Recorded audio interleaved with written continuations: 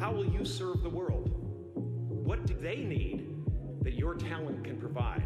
So the effect you have on others is the most valuable currency there is.